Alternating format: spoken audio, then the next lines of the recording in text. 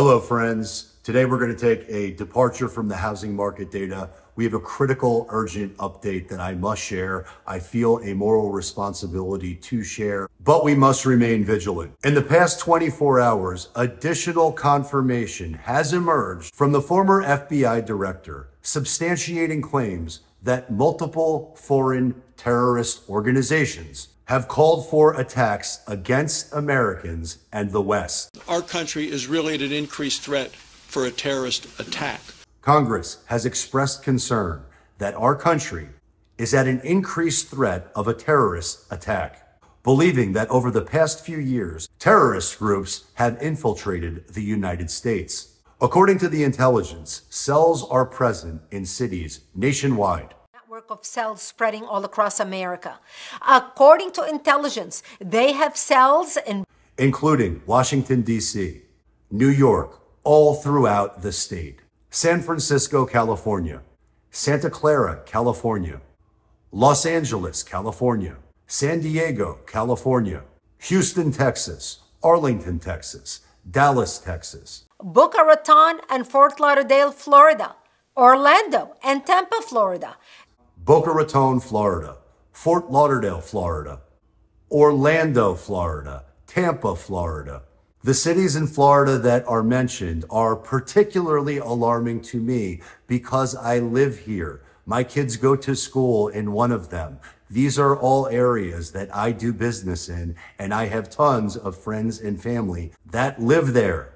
Boston, Massachusetts, Plainfield, Illinois, Chicago, Illinois, Cleveland, Ohio, Laurel, Maryland, Potomac, Maryland, Harrington, Virginia, Springfield, Virginia, Raleigh, North Carolina, Philadelphia, Pennsylvania, Charlotte, North Carolina, Detroit, Michigan, Columbia, Missouri, Kansas City, Missouri, Denver, Colorado, Oklahoma City, Oklahoma, Tucson, Arizona, Seattle, Washington, it seems as though almost every city in the United States is at risk right now. And it's alarming because I have so many friends and colleagues that live in all of these cities and states. And I suspect you do too. The sleeper cells right now in America, but this administration hasn't done nothing. What about the Iranians we're catching coming across our border down in Texas in just the last few days? These cells are allegedly sleeper units positioned to launch simultaneous coordinated strikes in major cities across the nation. Yet it appears that the current administration has taken no action. Moreover, there are reports of Iranians being apprehended at the Texas border in recent days. Further information on these sleeper cell units suggests a strategic rather than a tactical threat. They've been here for years, purportedly facilitating the entry of others, and are now poised to execute a coordinated strategic attack on the United States. Israel can go to hell! We stand at the threshold of such an assault, and additional confirmation on this is forthcoming. I intend to share video footage underscoring that an attack on U.S. soil is highly probable with the FBI warning that this could include cyber attacks on infrastructure. They urge vigilance regarding our water supply, electrical grids, and airports. The list of cities with reported cells is alarmingly extensive, reinforcing concerns highlighted by protests in Washington, D.C. against the war in Gaza, which also featured calls for the destruction of Israel.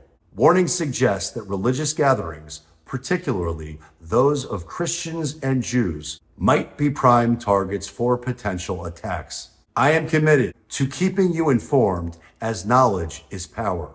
Preparing ourselves and our families is essential. If you value these updates, please support the channel by liking, sharing, and subscribing. For the latest information, which is offered totally free of charge. Now let's examine the video footage that provides further insight into the situation. Neither FBI Director Christopher Wray nor the president can confirm the presence of Hamas members in the United States who might launch a deadly attack. However, both state and federal officials, including the governors of Oklahoma and Texas, have echoed the severity of the threat that looms not only abroad, but here at home. Our country is really at an increased threat for a terrorist attack. Former FBI Assistant Director Chris Swecker has stated that the terrorist threat now is more pronounced than even before 9 11. With our southern border being porous, there is heightened concern about who may be entering the country. Post 9 11 security measures seem to have been abandoned, and there is genuine fear that terrorists are already within our borders, potentially planning organized activities. The extent of the threat is not limited to those already here, but also to those continuously crossing our borders undetected. These terrorists are unwavering in their resolve to undermine Western civilization, requiring our utmost attention and action. In closing, the vast network of cells across America linked to organizations like Hezbollah and Hamas should not be underestimated.